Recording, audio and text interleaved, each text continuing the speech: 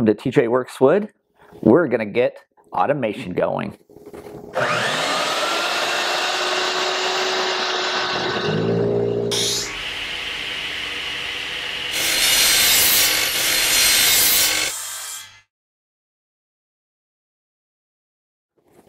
Okay, so dust collection system is good to go. I got the automation going. I've got filtration. I'm happy. It took forever. The longest part of this was getting the code to work right, getting all the bugs out of it, which it's what I do for a living, yet it took me forever, so it's a little embarrassing, but it works now um, pretty flawlessly. I've got uh, you know videos on making the dust collector, the impeller, the cyclone, everything. Put those up here. Like I said, filtration, everything's good to go. Uh, so basically what I have is there is a current sensor in these uh, outlets that I built, and I built five of them, uh, one for each tool slash blast gate. Whenever the tool that's plugged into one of those outlets is turned on, there's a current sensor in there, which then alerts the control box on whichever side the tool is on. It then closes all of the gates and opens the one gate that the tool is connected to. And then once that tool uh, is running and then shut off, the dust collector runs for another three seconds to clear out the line and then turns off. Now that gate will stay open because we don't, I don't, you know, less duty cycles the better. So it'll just stay open until a different tool is turned on and then it will close and that tool's blast gate will open. Now they do uh, the control box does, con you know, they do communicate between each other. So there's two over there. One will turn, uh, if one tool on that side turns on, all three of these blast gates will close and then the dust collector turns on. If one of these tools turns on, then those two blast gates will close if they're open and then dust collector turns on. Now, one thing that I really like that I did was this button right here. Uh, you push that, the dust collector will turn on after all the blast gates close and then that way I'm getting a good use um, a good use of suction for this hose which I can pull down or I've also got a floor sweep down here open this manual blast gate sweep the dust into it uh, when I hit that button to turn it off it does not give a three second wind down because I didn't see that to be necessary um, because I will have to travel from wherever I'm at to there to turn it off. So who knows? I might go in and change that later, but right now I'm happy with it just turning off right when I push the button. But yeah, uh, enjoy this video, like and subscribe. A lot of mistakes were made, um, but I'm happy with it. And I got this one calling me in. So I'm going to go inside, hang out with him. Hey, guess what? Guess what time it is? Y'all enjoy the video. Thanks. Guess what? What? Adventure time. Adventure time! Let's do it.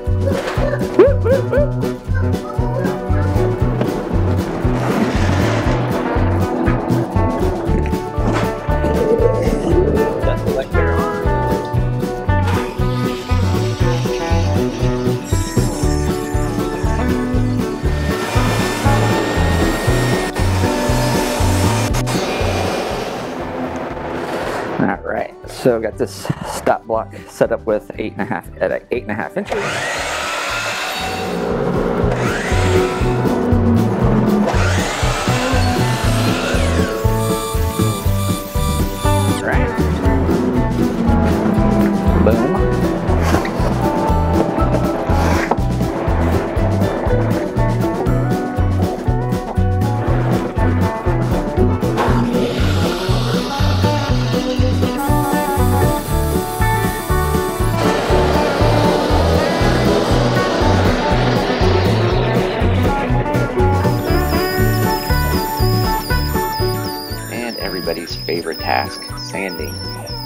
I'm sanding just the insides of the outsides of the gate and then the gates themselves just to give a smoother sliding surface so there's less binding.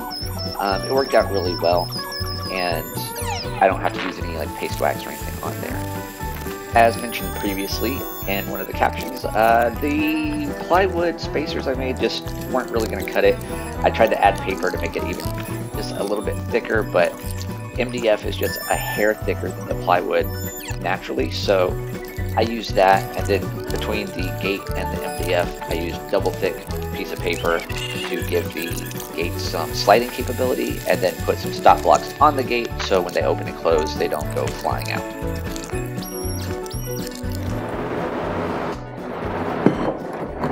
So, we're going to do a little bit of this action.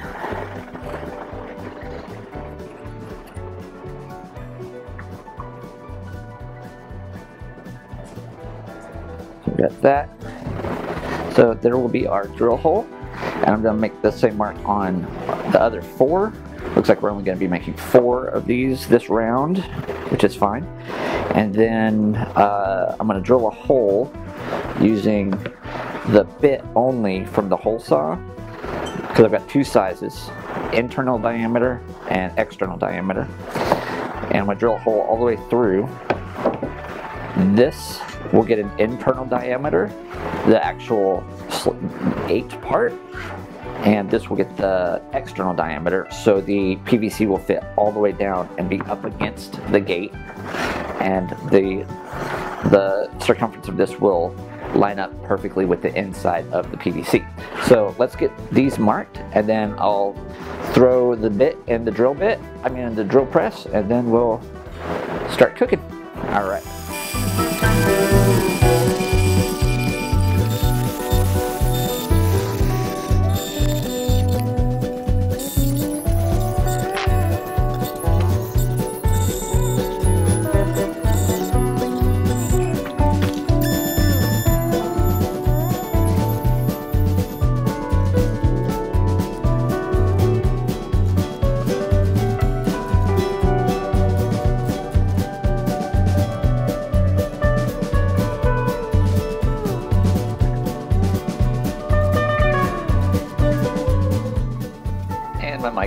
Battery died. So here I'm just showing the gate sliding and the fact that the uh, PVC sits inside the outer portion of the gate and sits atop the actual gate so the inner diameters line up and there's less turbulence for the air to flow.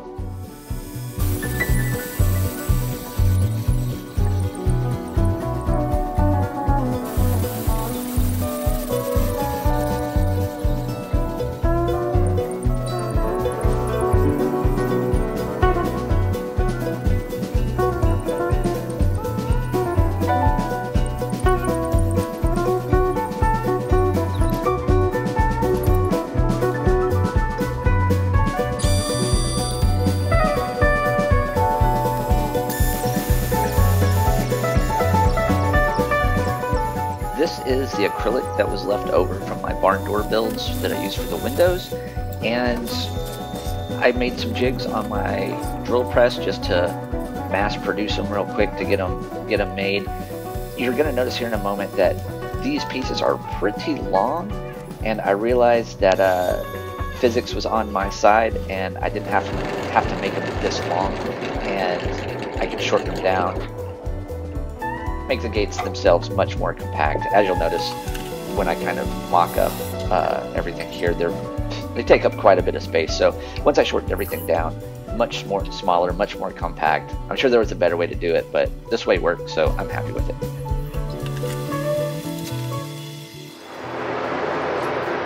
Okay, so we got all of these made.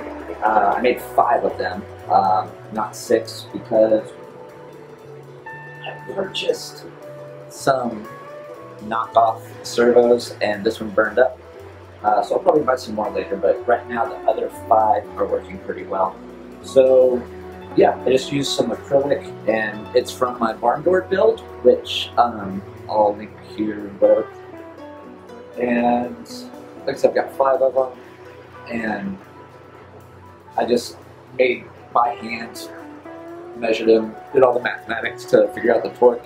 Uh, messed up, so had to change it, but this is just a program that runs through, opens and closes uh, the gates, so...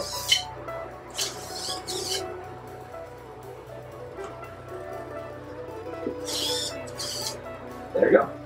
They're closed. They'll be like this. Boom, boom. Open, closed. So uh, what will happen is um, they'll open when the tools on, uh, and they'll stay open when you turn the tool off, but they'll all close when a different tool is turned on. If that doesn't make sense, you'll see what I'm talking about. Uh, so let's get these put up and start plumbing everything.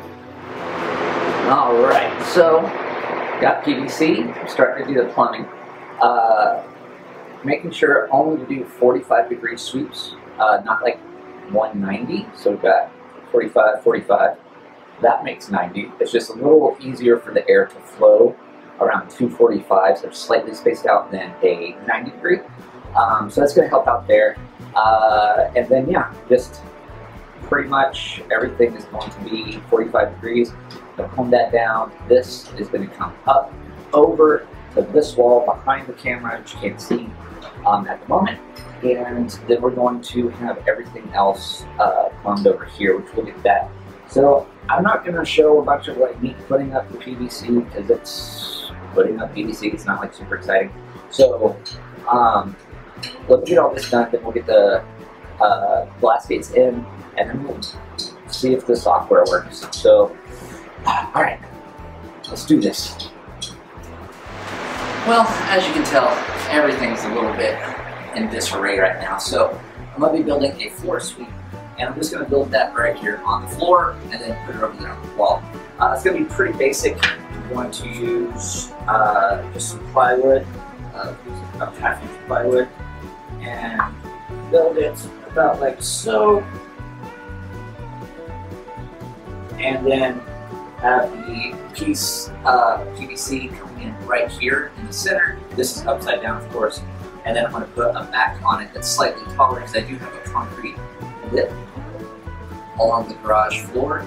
So this needs to raise up just a little bit so I can get it into some uh, into some studs so it doesn't go all over the place. So let me get started on this and then we will install that or we get in there. Uh, pretty excited. Alright. Okay, well, now it's just a bunch of soldering and uh, fun stuff. So we'll be doing that. We'll gotta make more of the outlets, which I'm not gonna make them like this. I'm them with the metal boxes. These guys. And I'm gonna uh, start just start getting them made.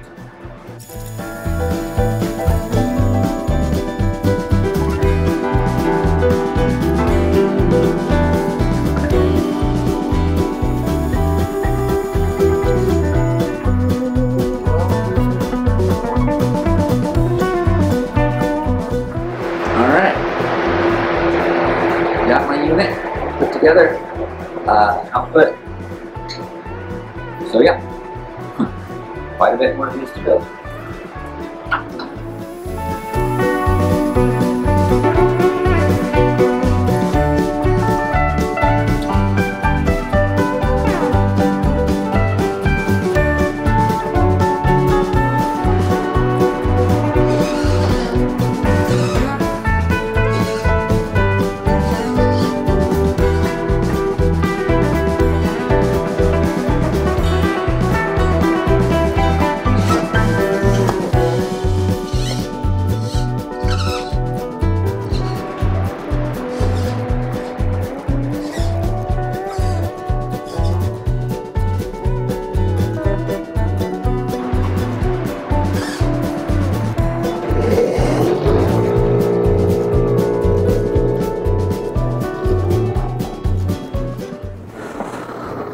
All right. Well, thanks for watching. Uh, I really appreciate it. I hope that you enjoyed the video and enjoyed the progress. If you have any questions about how I did all this or anything like that, just let me know down in the comments. Um, here's some other videos that you might like uh, that I've made in the past. And again, like and subscribe if you haven't. If you thought this was entertaining, um, if you thought it was not entertaining, then like and subscribe to see more non-entertaining videos in the future. So cool. That's that.